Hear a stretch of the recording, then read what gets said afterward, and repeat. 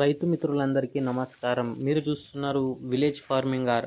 అయితే మనం ఈరోజు ప్రధానంగా మన ఆదిలాబాద్ డిస్టిక్ నిజామాబాద్ డిస్టిక్ దగ్గరలో ఉన్న మంచిర్యాల డిస్టిక్లో కానీ మన సైడ్ అయితే ఇది ఈ గోధుమ పంట అయితే ఎక్కువ అయితే మనకు గోధుమ సాగు చేస్తూ ఉంటారన్నమాట.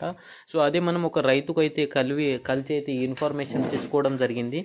అయితే రైతు మాత్రం మనకు మాట్లాడడం జరగలేదు. సో అందుకోసం అయితే మనం ఈ ఇన్ఫర్మేషన్ రైతులకు ఇవ్వాలని అయితే తీస్తున్నాం అన్నమాట సో గోధుమ పంట ఎప్పుడు వేసుకోవాలి? దాన్ని ల్యాండ్ ఎలా ప్రిపరేషన్ చేసుకోవాలి? వెరైటీస్ ఎవి ఉంటాయి అనేది మనం ఈరోజు మాట్లాడబోతున్నాం. సో మనకు అది ఎకరానికి వచ్చేసి ఎంత వేసుకోవాలి?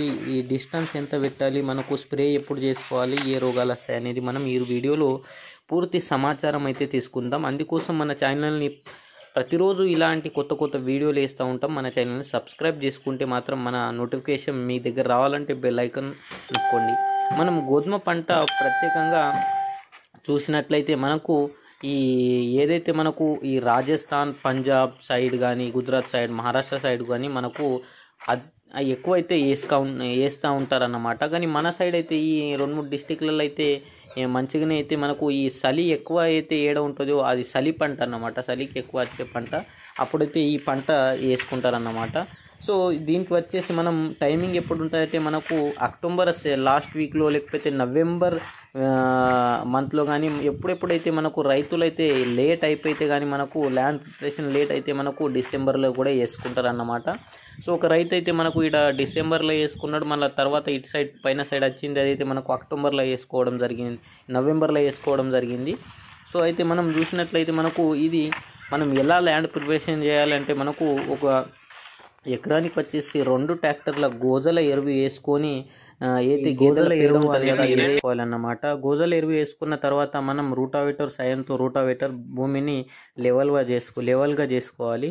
మనం థర్డ్ వచ్చేసి చూస్తే కానీ మనకు ఎవరెవరు రైతులు ఏదైతే మనకు లేట్ అయినప్పుడు మనకు అర్లీ వెరైటీ తొందరగా వచ్చే వెరైటీ అలుకుంటారు మరి మనకు అక్టోబర్లో కానీ నవంబర్లో వేసుకున్న వాళ్ళైతే మనకు వాళ్ళు లేట్ వెరైటీ వేసుకుని మంచి వెరైటీ అయితే తీసుకుంటారు అన్నమాట సో మనం చూసుకుంటే కానీ ఈ రాజస్థాన్ సైడ్ కానీ ఈ గుజరాత్ సైడ్ పంజాబ్ సైడ్ కానీ ఏ వెరైటీ వేసుకుంటే Pusa Tejas eight six six three Poshan మళ్ళీ శ్రీరామ్ వారి త్రీ జీరో త్రీ శ్రీరామ్ వారి ఫోర్ సిక్స్ త్రీ ఇలాంటి సీడ్స్ అయితే వాడతారన్నమాట. సో ప్రధానంగా మన సైడ్ మాత్రం సోనాలి కానీ ఇలాంటి సీడ్స్ వాడతారు. సో మార్కెట్లో మీరు మార్కెట్ రేట్లే చాలా బాగా చాలా సీడ్స్ ఉన్నాయి. అవి కూడా కనుక్కొని మంచి సీడ్ ఏది ఉన్నాయితే అది మీరు తీసుకోగలుగుతారు. మళ్ళీ సీడ్ సీడ్ ట్రీట్మెంట్ ఎలా చేసుకోవాలి? కంపల్సరీ ఏదైనా మనం విత్తనం నాటేటప్పుడు సీడ్ ట్రీట్మెంట్ అనేది మనం చేసుకోవాలన్నమాట. సీడ్ ట్రీట్మెంట్ చేసుకునేటప్పుడు మనకు ఏదైనా మంచి ఫంగిసైడ్ కానీ యూజ్ చేసుకోవాలి. సో మనమైతే ఈడ రైతులు కానీ మనకు రెడోమిల్ గోల్డ్ అనేది మనకు బాగుంటుంది అని అయితే వాడు చెప్ప వాళ్ళైతే చెప్పడం జరుగుతుంది. సో ఒక కేజీ కేజీకి వచ్చేసి టూ గ్రామ్ పర్ అయితే మనకు ఇది యూజ్ చేసుకుంటే బాగానే ఉంటుంది అన్నమాట సో ఒక ఎకరానికి ఎన్ని ఎంత విత్తనం తగ్గుతుంది అనేది మనం మాట్లాడబోతున్నాం. సో ఒక లైక్ అయితే చేయండి అన్నమాట మన వీడియోకి. ప్రతి ఎకరానికి ఒక ఎకరానికి వచ్చేసి యాభై నుండి అరవై కేజీల వరకు అయితే మనకు ఇత్తనం అనేది తలిగేది తలుగుతుంది అన్నమాట సో ప్రధానంగా మనకు ఇత్తనం ఎలా వేసుకోవాలి అనేది మనము చూస్తూ ఉంటాం. సో అయితే మనం ఈడ చూసినట్లయితే ఇత్తనాలు ఏదైతే ఉన్నదో సీడ్ డ్రిల్ సాయంతో వేసుకోవచ్చు మనం. మరలా సెకండ్ వచ్చేసి మనకు ఏదైతే ఎడ్ల సాయంతో ఏదైతే మనము ఏదైతే సోయాబీన్ కానీ ఎడ్ల సాయంతో విలేజ్లలో అలుక్కుంటారు కదా ఆ సాయంతో కూడా మనము అలుక్కోవచ్చు. మనకు థర్డ్ వచ్చేసి ఎదజల్లే విధానంతో కూడా దీన్ని ఎక్కువ రైతులు తక్కువ రైతులు అయితే చేసుకుంటారన్నమాట. సో మనకు దీంట్లో ఏదైతే ఫైటీ ఫర్టిలైజర్స్ ఏవి వేసుకోవాలంటే మనం దీంట్లో ఫర్టిలైజర్స్ వచ్చేసి DAP thirty thirty kg SSP single super phosphate fifty kg MOP ఇది ట్వంటీ కేజీ మళ్ళీ యూరియా వచ్చేసి ట్వంటీ ఫోర్ కేజీ అయితే మనం యూజ్ చేసుకుంటే బాగానే ఉంటుంది అన్నమాట సో మనం దీని డిస్టెన్స్ కానీ చూసుకుంటే మనకు దీని డిస్టెన్స్ అయితే ఐదు నుంచి నాలుగు సెంటీమీటర్ల వరకు ఒక కర్ర కర్ర ఉన్న డిస్టెన్స్ అయితే మనము చూసుకోవాలన్నమాట. సో మన దీని సాలుకు సాలు మధ్య డిస్టెన్స్ ఎంత ఉంచాలంటే మనకు సాలుకు సాలు మధ్య డిస్టెన్స్ ఏడు నుంచి ఎనిమిది ఇంచెస్ వరకు అయితే డిస్టెన్స్ ఉంచుకోవాలి. మనం ఏదైతే శనగ పంట చెన పంట వేసుకుంటామో అలా డిస్టెన్స్ ఉంచుకుంటే కూడా మనకు సరిపోతుంది అన్నమాట సో మనం ఈ సీడ్ డ్రిల్తో కానీ వేసుకుంటే కూడా బాగానే ఉంటుంది మనము దీనికి కలుపు నివారణ అనేది మనము ఏదైతే మనము ఈ అల్కు మే- ఏదైతే మన సీడ్ డ్రిల్తో అల్క కన్నా ముందు మనం ఏదైతే పెండమిథలిన్ మనకు దొరుకుతుందో అది మనం యూజ్ చేసుకున్న తర్వాత మనకు భూ భూమిలో ఏదైతే తెమ్మ ఉంటుందో కలుపు కలుపు రాకన ముందు పెండె యూజ్ చేసుకుంటే కూడా మనకు కలుపు నివారణ తగ్గుతుంది. మరియు ఇది వచ్చిన తర్వాత మనకు ఒకసారి కూలీలతో కలుపు నివారణ చేసుకోవాలి. మార్కెట్లో బాగా రకాల ఈ కలుపు మందులు కూడా మనకు ఉన్నాయి. కానీ మనము ఎక్కువ తక్కువలో కలుపు మందులు యూజ్ చేయకుండా అయితే మనము పంట తీస్తే మనకు బెనిఫిట్స్ అయితే ఎక్కువ ఉంటాయి.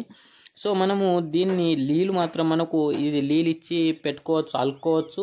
మనము నీళ్ళు ఇచ్చి అలుకున్న లే నీళ్ళు ఇచ్చి అలుకోవాలి. మళ్ళీ తర్వాత కొన్ని అయితే పది రోజులు ఐదు రోజులు అయిన తర్వాత మనకు నీళ్ళు ఇస్తే కూడా మనకు సరిపోతుంది అన్నమాట. నీళ్ళు ఎన్నిసార్లు అయ్యేది అనేది అయితే మనకు దీనికి ఐదు నుంచి ఆరు సార్లు నీళ్ళు ఇస్తే మనకు నడుస్తుంది అన్నమాట ఐదు నుంచి ఆరు సార్లు నీళ్ళు ఇస్తే మనకు నడుస్తుంది. ఇది చలికి వచ్చే పంట అన్నమాట. చలి ఎక్కువ ఉంటే కానీ మనకు బాగా అయితే వస్తుంది అన్నమాట సో దీంట్లో మనం స్ప్రేలు కానీ చూసుకుంటే మనకు ఇది ఏదైతే నలభై ఐదు యాభై రోజుల తర్వాత ఏదైతే రసం పీర్చే పురుగులు ఈ నల్లి కానీ తెల్లదోమ కానీ ఇలాంటి కానీ తక్కువ ఉంటాయి కానీ ఈ రసం పీర్చే పురుగులు కానీ నల్లి నివారణ కానీ ఈ నల్లీలు కానీ ఎక్కువైతే వస్తూ ఉంటాయి. దానికోసం మనం తక్కువ ఖర్చులో ఉన్న ఈ క్లోరోఫైరిఫాస్ కానీ సైపర్మెత్రిన్ కానీ కాంబినేషన్ ఉన్న మందులు కొట్టుకోవచ్చు. మనం హమ్లా ఫై ఫైవ్ ఫిఫ్టీ కూడా కొట్టుకుంటే మనకు బాగానే ఉంటుంది అన్నమాట సో దీనికి ఎప్పుడెప్పుడు ఇది ఆ పంట అనేది పచ్చగొడుతుంది అన్నమాట దానికోసం మనం కానీ ఎక్కువ పడది తక్కువ పడిన పడినప్పుడు కానీ మనము నలభై రోజులలో నలభై రోజులు అయిన తర్వాత కానీ మనము దీన్ని త్రిబుల్ నైన్టీకి కొట్టుకుంటే మనకు కంట్రోల్ అయ్యే అవకాశాలు ఉంటాయి.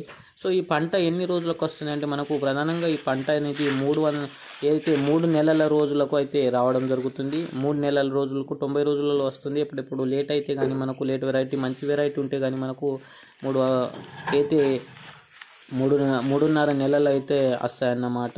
సో మనకు వంద రోజులలో కూడా వచ్చే అవకాశాలు ఉంటాయి. సో మనం ఏదైతే వేసుకునేటప్పుడు మంచి విత్తనాలు మాత్రం మనము మార్కెట్లో నుంచి మన అవగాహన తీసుకొని మంచి విత్తనాలు అయితే వేసుకుంటే మనకు బాగా బెనిఫిట్ అయితే ఉంటుంది అన్నమాట సో ఇలాంటి ఏదైతే గోధుమ పంట మన సైడ్ అయితే మనకు ఎంత యావరేజ్ వస్తాయంటే మనం మన సైడ్ గోధుమ పంట పది నుంచి పన్నెండు నుంచి పదిహేను వరకు వస్తుంది. కానీ రాజస్థాన్ సైడ్ అయితే మనకు బాగానే వస్తుంది అనమాట ఇలాంటి కొత్త కొత్త వీడియోల కోసం మన ఛానల్ సబ్స్క్రైబ్ చేసుకోండి.